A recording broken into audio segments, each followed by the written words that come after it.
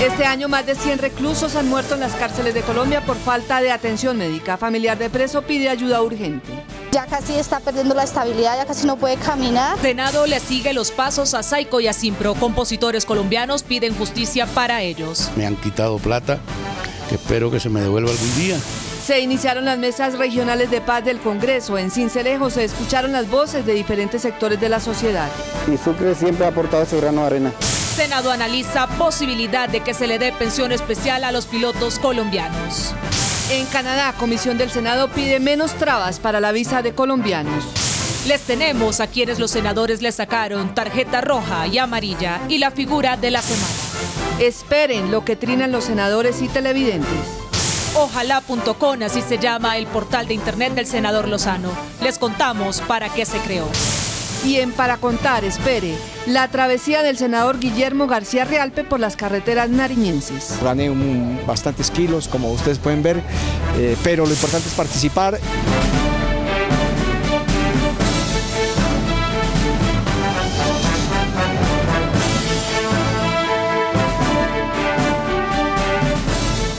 Bienvenidos, este es NS Noticias, el noticiero de los colombianos.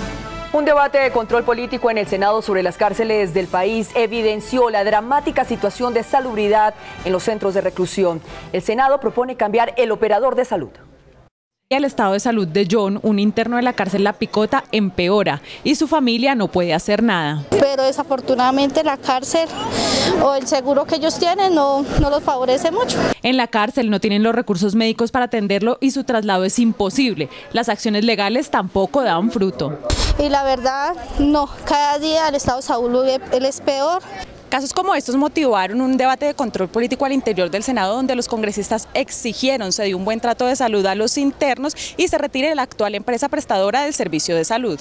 Capricorn suspenda la prestación de servicios como eh, agente asegurador exclusivo de la salud de los eh, reclusos, el IMPEC reasuma esto. Por su parte, el director del IMPEC aseguró que ya está trabajando en un nuevo sistema de salud carcelaria. Una nueva política sobre cuál será el sistema de salud para los internos en Colombia. El debate continúa abierto y los senadores esperan se dé una pronta solución a esta problemática que este año ha cobrado la vida de 113 internos. Un llamado urgente al Congreso hicieron los compositores colombianos. Denuncian abandono, pagos irrisorios y falta de protección. Algunos de nuestros grandes maestros de la música viven de la caridad.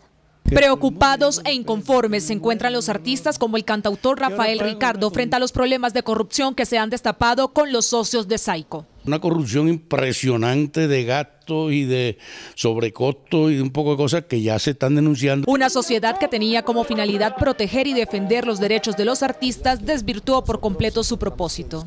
En razón de esto y la decisión del gobierno de poder intervenir en Saico, esperamos que verdaderamente se pueda hacer una eh, reorganización de esta entidad. Para Conrado Marrugo, compositor colombiano de 42 años, el problema radica en las editoras. Ellos están recaudando un dinero que en realidad corresponde a los compositores. Los artistas sostienen que son un gremio desprotegido por el Estado. Esto no es un caso de Rafael Ricardo particularmente, si me han perseguido, me han quitado plata, que espero que se me devuelva algún día. Somos 5.800 socios de los cuales dependen muchas familias. Desde el Senado se hace un llamado a la Procuraduría para que investigue a la Dirección de Derechos de Autor, ya que no han hecho nada y las denuncias aumentan por el supuesto mal manejo de los recursos. Y mientras llega la solución, los artistas solo esperan que sus letras y canciones no se olviden. Voy a cantar para ti, solo para ti, negra del alma. Tú no eres reina de Magdalena. La crisis financiera de la red hospitalaria en Colombia tiene en alerta no solo al gobierno, sino al Congreso de la República.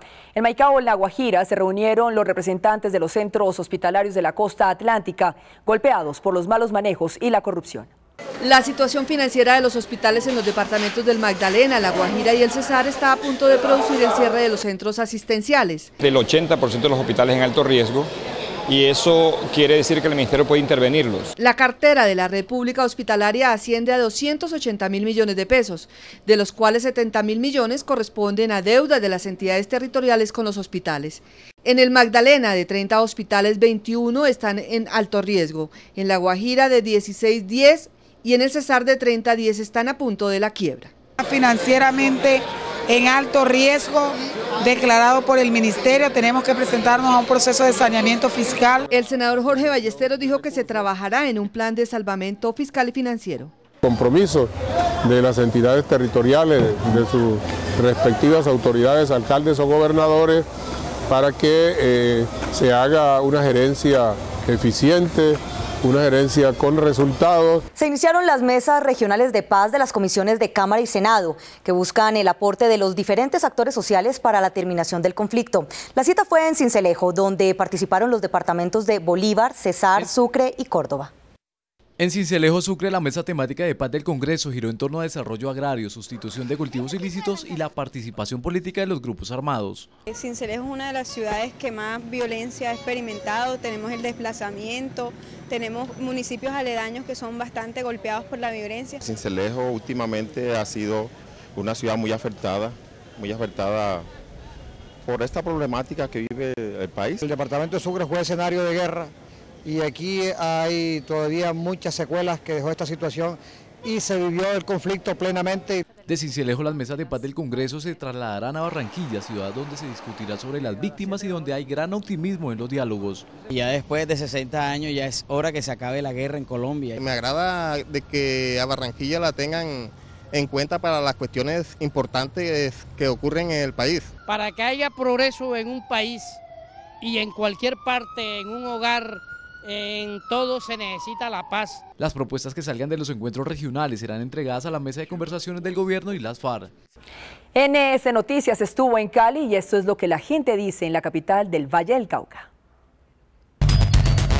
Senado de la República que abogue por la rama judicial, porque es que hay una ley, la cuarta del 92, que ya habló del tema de nivelación salarial y estamos luego casi de 20 años sin que eso se haga realidad. El Senado de la República debe asumir, eh, digamos, retos frente a, a una población que necesita vivienda, seguridad, educación. Que hubiera más seguridad, que hubiera más oportunidades de empleo para las personas que lo necesitamos. Hay comunas que están olvidadas por las autoridades y uno pasa por ahí y le hacen daño, a veces lo roban, lo atracan. Somos NS Noticias, el noticiero de los colombianos. Una nueva imagen, un nuevo concepto. Más dinámico, más noticias. Ahora que Juan Felipe, el principal problema del Congreso de la... Más colombianos, ustedes son los protagonistas. Control político del Senado www.senado. NS Noticias, el noticiero de los colombianos. Les agradezco enormemente por estar pendientes de nosotros y estar acá cerca del derrumbe, donde estuvimos perdidos por tres meses, seis días. Y por cierto, este noticiero es muy escuchado a nivel nacional y aquí especialmente en Chuachi, Cundinamarca.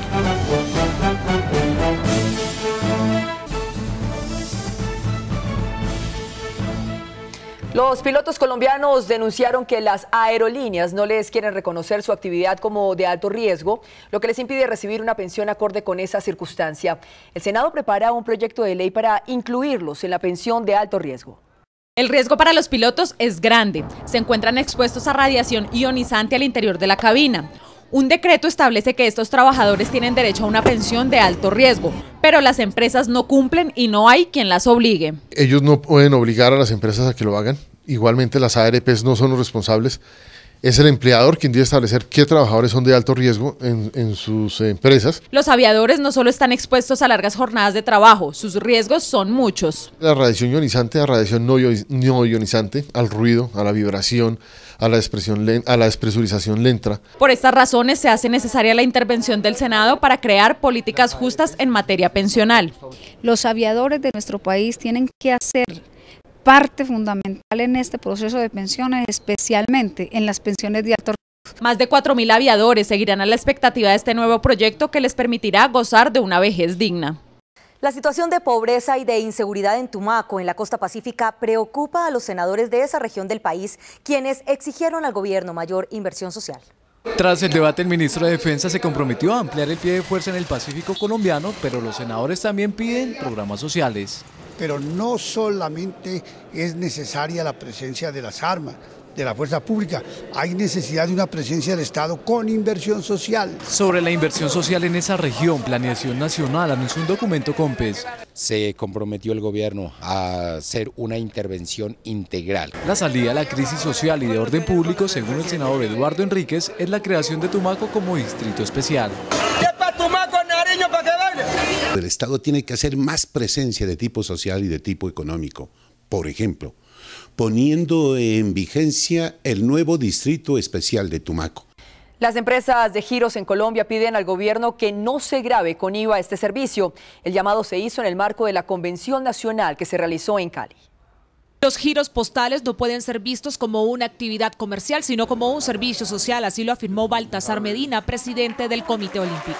Las personas que acuden a este medio para hacer transporte de dinero son justamente las personas de menos ingresos. Por eso, grabar con IVA los giros postales terminaría convirtiéndose en un verdadero problema para las personas de menos recursos.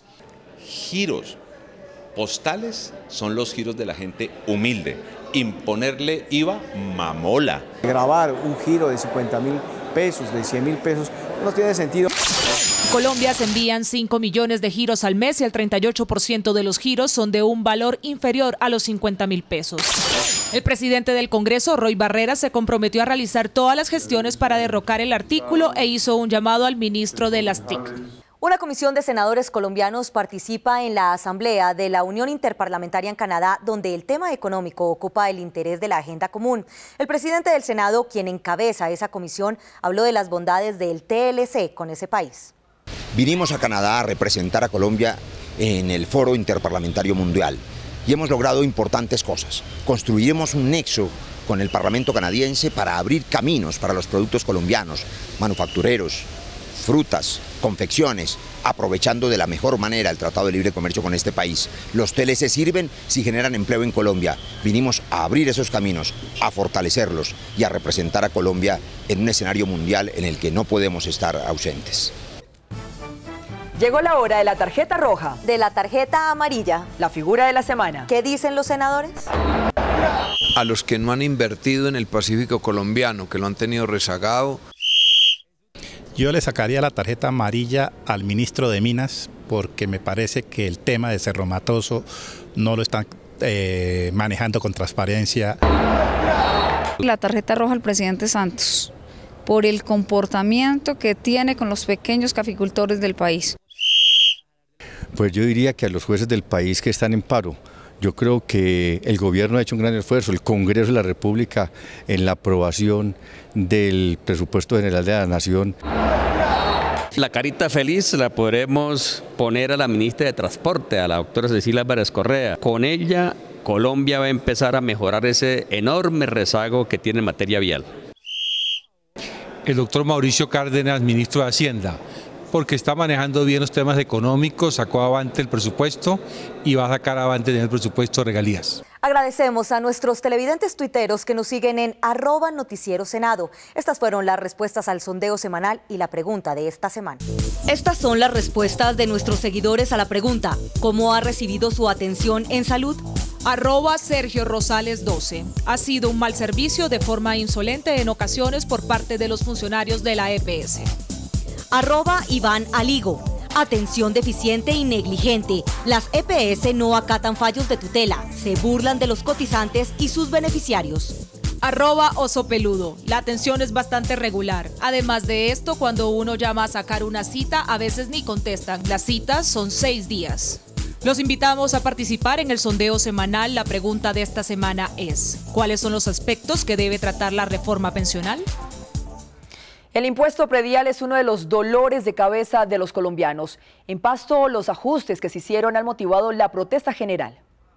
La desproporcionada alza en el impuesto predial originó la creación del movimiento nacional El Predialazo. Las personas que han luchado 10, 15 años por tener su casa, ahorita se encontraron con, con, un malestar, digamos, adicional, adicional al de no tener empleo, al de no tener, digamos, buena salud, no tener educación gratuita, y es el impuesto predial. 87 mil propietarios de predios en la ciudad de Pasto están sufriendo el incremento en el avalúo catastral, que sumado a la caída de las pirámides ha generado un caos económico en esta región del país. El Congreso debatió la situación de Cúcuta, Itagüí, Popayán y otras ciudades. Se ha logrado hoy que existan unas revisiones, especialmente en las zonas de afectación. El alza en el predial no solamente afectará estas regiones, sino todo el territorio colombiano. En lo que resta de este año 2012, se va a terminar el estudio, la estructuración y la actualización de 3 millones de predios en Colombia, incluidos los de Bogotá.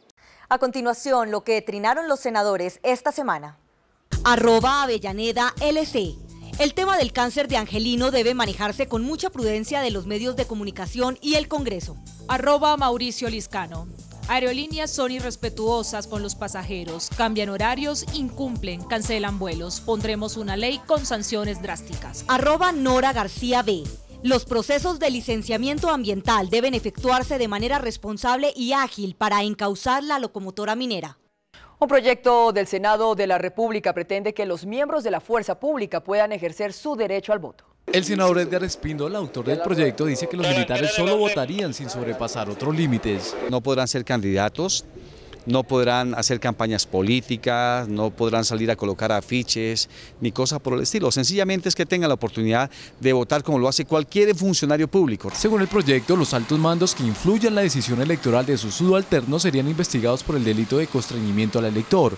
A primera vista, la gente no está de acuerdo en que los 400.000 hombres de la fuerza pública y policía voten. Como dijo Lleras Camargo, el insigne estadista, dijo, con las armas en la mano y, buscar el triunfo de un parcial, la cosa se complica. Como decía en mi tierra, en Boyacá, zapatero a tus zapatos. Pienso que deberían dejar la, la constitución como está porque se prestaría para politizar la cuestión. Somos NS Noticias, el noticiero de los colombianos. Estamos en www.senado.gov.co. El Senado también es interactivo. Para que sepan todo lo que aquí ocurre, visiten nuestra página web www.senado.gov.co. Y si quieren interactuar con nosotros, pueden seguirnos en Twitter arroba senado.gov.co y arroba noticiero senado. En Facebook estamos en www.facebook.com slash senado.gov.co. Estamos atentos a sus comentarios. Una nueva imagen, un nuevo concepto más dinámico, más noticias. Ahora que Juan Felipe, el principal problema del Congreso de la... Más colombianos, ustedes son los protagonistas. Control político del Senado, www.senado. NS Noticias, el noticiero de los colombianos. El noticiero del Senado escucha a los santanderianos. En Hoy va Santander, vemos el noticiero del, Senado. Ojalá.com es un portal en Internet que acaba de lanzar el senador Juan Lozano. Una buena idea para hablar también de paz. Aquí estamos abriendo una puerta para el Congreso del siglo XXI. El senador Juan Lozano se puso a la vanguardia de las nuevas tecnologías y de la comunicación. En tiempo récord, durante mes y medio, él y su grupo de trabajo se dedicaron de lleno a montar un portal para la paz. Ojalá apuesta porque se pueda alcanzar la paz, pero no cualquier paz, una paz justa, una paz sin más secuestros, una paz sin narcotráfico, sin reclutamiento de niños, sin más infamias contra el pueblo colombiano. Aquí se encuentra de todo, desde documentos hasta canciones de paz. Ojalá.com.co es además una herramienta de control político. Lo que se logra es que la información que tienen los congresistas sea una información a la que puedan acceder todos los colombianos. Esto es democracia. A continuación, los temas para contar con nuestra directora Azucena Liévano. Una comisión del Senado encabezada por el presidente de la corporación se encuentra en Canadá. La comisión gestiona con ese país la posibilidad de que no le pongan trabas a los colombianos en la expedición de la visa para el ingreso a Canadá. Los campesinos en los Montes de María piden la presencia gubernamental. Allí estuvo la senadora Piedad Zucardi atendiendo sus necesidades. De herramientas de trabajo, guadañas, que nos equipen de, equipo de protección, de una vivienda digna. Una vez consolidada eh, la seguridad democrática en esta región, hay que consolidar el crecimiento eh, económico y el bienestar de todos los eh, campesinos. En el Congreso hay expectativa por el proyecto de reforma pensional que le presentará el gobierno al legislativo. Desde ya hay posiciones encontradas. Lo que pretende esta reforma es un sistema para disminuir la pensión mínima que se exige para los colombianos, para tener un ahorro programado, lo que significa es que ya nuestros ancianos no van a tener una pensión digna. Se busca crear unos mecanismos para que mayor número de pues, la población colombiana tenga acceso en un futuro a su pensión. Y para contar en el tema de la distribución de regalías, desde ya se habla de inequidad. Los gobernadores, en su mayoría, han hecho unas distribuciones caprichosas que no guardan armonía ni justicia en las diferentes regiones del país. El senador Juan Carlos Vélez dice que la situación del vicepresidente de la República es dramática, porque lo quieren sacar como sea. Aquí se quieren sacar al vicepresidente como sea, si es a los sombrerazos, si es a las patadas. Los senadores de Santander condecoraron a Mario Hernández, un empresario que hizo su emporio a puro pulso. Generar empresa, generar industria, generar empleo y sobre todo traspasar las fronteras con unos productos de excelente calidad. Lo obliga a uno a trabajar más, a hacer mejor todos los días. El senador Guillermo García Rialpe también le saca tiempo al deporte. Lo encontramos pedaleando por su lindo departamento de Nariño. Ya prácticamente el tiempo es escaso, gané bastantes kilos, como ustedes pueden ver, eh, pero lo importante es participar. La próxima semana más temas para contar. Hasta aquí la información en NS Noticias. Los invitamos para que visiten nuestra página web www.senado.gov.co, donde ya pueden ver este noticiero.